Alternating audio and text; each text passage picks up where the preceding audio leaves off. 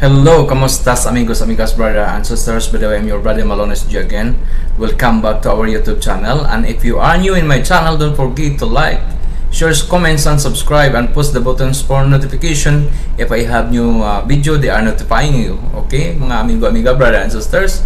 So we'll learn kung paano ba manalangin sa Panginoon na i-grant niya yung ating panalangin. Okay? Please stay tuned. You watch your dreams unfold.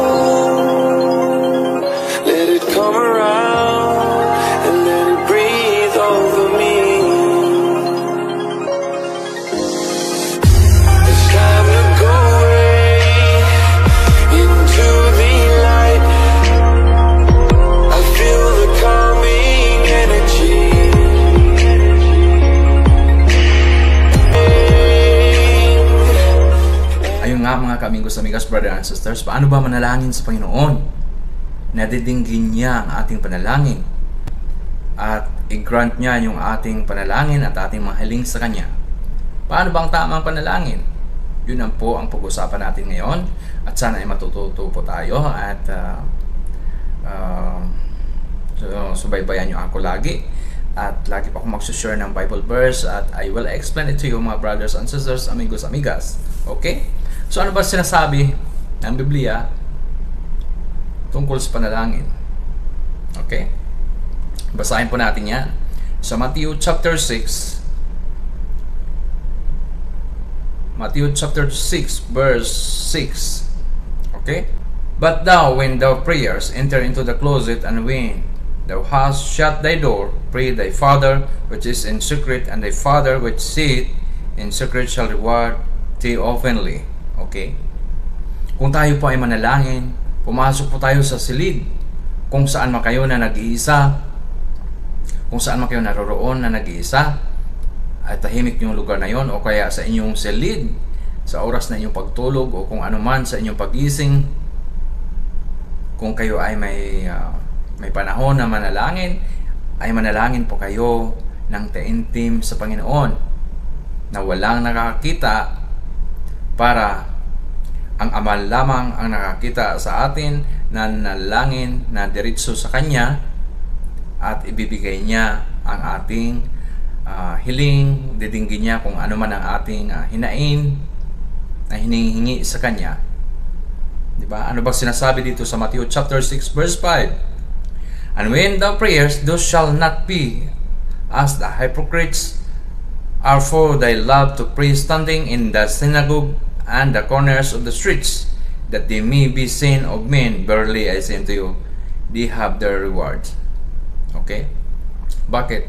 Ayaw ng Panginoon na tayo ay manalangin kahit kung saan-saan man, na maraming tao sa mga lansangan, sa kung saan saan man dahil nakikita na ng tao ang ating panalangin. Sino ang unang nakakita ng ating panalangin? Di ba mga tao yung reward ay hindi na ah, hindi na maibibigay ng Diyos sa atin dahil napuri ka na ng mga tao ay si ano nanalangin, di ba, ng ganito, ganyan. So nakuha na ng mga tao yung ating reward instead na si God lang yung nakakita sa atin at siya lang nakaalam na nalangin tayo sa Kanya. So, yun po ang ibig sabihin mga kamigos amigas na kailangan pag nanalangin tayo ay we pray in our rooms, we pray in the place that you only want. Pero kung magkasama kayo ng inyong pamilya, sa inyong bahay ay mas maganda, 'di ba? Sabay-sabay kayo manalangin na walang nakakita na kayo kayo lang. 'di ba? Yung Diyos Ama lamang ang nakakita, na nalangin tayo na diretso sa kanya. Okay? Ano ba dito ang sinasabi sa Matthew chapter 6 verse 7? But when you pray, as not be in repetition as the heathen do, for they think that they shall be heard, for their mouths are speaking. Okay? Pag tayo po ay manalangin, huwag po tayo gagamit ng paulit-ulit ng mga salita, napakaraming salita na paulit-ulit. Bakit kailangan natin na huwag na natin ulit-ulitin ang ating mga salita? Dahil alam na ng Panginoon yan kung ano ang ating ah, ah, hilingin sa Kanya. Alam na ng Panginoon yan kung ano ang nasa puso natin, ang sa isip, damdamin natin. Na ipanalangin natin sa Kanya, alam na niya yan. O di ba? Ano bang sinasabi dito sa Matthew chapter 6 ver- verse 8? Be not ye therefore like unto them, for the Father knoweth what things ye have need, or before ye ask Him, Okay? O di ba? Tama yung sinabi ko dito sa verse 8, oh. Hmm? Huwag tayong maging kagaya sa iba na nakikita ang ating panalangin ng marami dahil wala nang ang halaga yun sa Panginoon eh. Nakita na ng marami yung panalangin mo eh. Yung panalangin natin eh. So mas maigi na yung Diyos lamang nakakalam kung ano ating pinapanalangin at huwag pa ulit-ulit na maraming salita dahil alam na ng Panginoon kung ano ang ibig sabihin, kung anong ating hangarin, kung ano ang ating hilingin sa Kanya, alam na ng Panginoon yan. Uh, yun nga ang sinasabi dito sa chapter 6 verse 8. No? Be not, be not therefore like unto them, for your fathers know it, what things ye have need of before ye ask Him. Okay? Alam na ng, ng, ng Diyos kung ano ang ating kailangan, kung ano ang ating uh, ipapanalangin, bago tayo mag magpanalangin uh, at bago tayo humiling sa kanya, alam niya na, 'di ba? Sinasabi ko nga sa inyo kung anong nasa puso mo, 'yun ang dapat ilalabas sa iyong bunganga, 'di ba? Ano ba sinasabi dito sa chapter 6 ng Mateo, verse 9? After this manner, therefore pray ye, our Father which art in heaven, hallowed by thy name. Okay? Yun ang pina, tinuro ng Panginoon sa atin eh. Kung paano manalangin eh. Basahin natin ito. Uh, from uh, verse 9 to 14. Okay?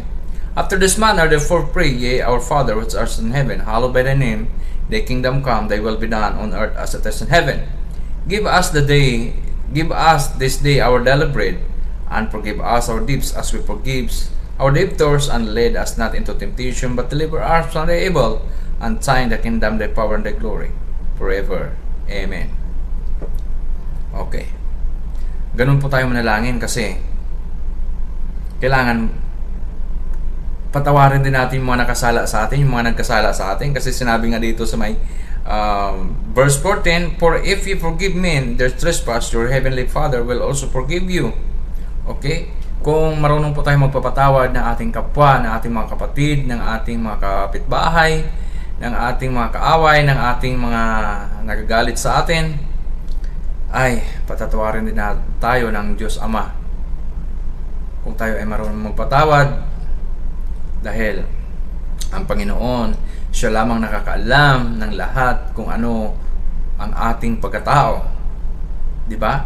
Yun ang sinasabi nga dito kanina sa verse uh, 5 and 6, 7, 8. Okay? Yung sinasabi dito ay kapag tayo ay manalangin, kailangan uh, huwag tayo manalangin kung saan saan, napakaraming tao, kung saan saan ka lang uh, na mga uh, street, na mga corners, dahil nakikita na ng mga tao yung inyong panalangin. So, yung reward hindi mo na makukuha doon sa langit, sa Diyos Ama, dahil nakuha mo na sa mga tao ang iyong reward. So, pag ikaw manalangin, ano magsabi dito sa verse 6 kanina? ay pumasok tayo sa ating silid. Pumasok tayo sa uh, kwarto o kung saan ka man, kung sa bundok ka man, kailangan pumunta ka doon sa isang punong kahoy na ikaw lang mag-iisa o kung saan ka man, ay magsara ka ng pintuan at manalangin na ikaw lang o kung may kasama ka, okay lang yan na wala nakakakita sa inyo dahil kailangan ang Diyos Ama lamang makakita sa ating mga ginagawa. Dahil pag marami nakakita ay nakuha na ninyo ang inyong reward sa mga tao, hindi na makakarating sa Ama, sa Diyos Ama. Okay? At kung tayo may manalangin, huwag tayong paulit-ulit. Dito sa verse 7, no? But when you pray, use not vain repetition as the heathen do, for they think they, that they shall be heard of their mouth speaking. Okay? Dahil naririnig na ng Ama, alam na ng Ama na kung ano ang, ang ating hilingin sa Kanya. Alam na ng Diyos Ama na kung ano ang ating sasabihin. Dahil siya ay makapangyarihan, alam niya bawat isa sa atin. Ang ating mga sekretong kasalanan ay nalalaman ng Panginoon, ngunit hindi nalalaman ng mga tao na nakapwa natin, ngunit Diyos lamang nakakaalam ng lahat. Okay? Sana mga kapatid, mga amigo, amiga ay may natutunan tayo sa araw na to. na pag tayo ay manalangin, manalangin tayo sa silid na wala nakakita at kung ikaw lang mag-isa, para ang reward ay maibibigay ng Diyos Ama sa iyo dahil siya lang ang nakakarinig at nakakita sa iyo. Ngunit kung maraming nakakita sa iyo at nakakarinig, ay nakuha na ng iba ang inyong attention kaya hindi na makakakita sa ay hindi na makakarating sa Diyos Ama ang ating uh, hiling, ang ating panalangin dahil naharang na ng iba, nakita na ng iba ang inyong panalangin. At kung kayo ay manalangin, kailangan walang nakakaharap, naka, kung anumang bagay na nakasagabal sa inyong harapan. Kailangan manalangin tayo na walang kaharap, na walang mga kung ano-ano dyan sa harapan mo.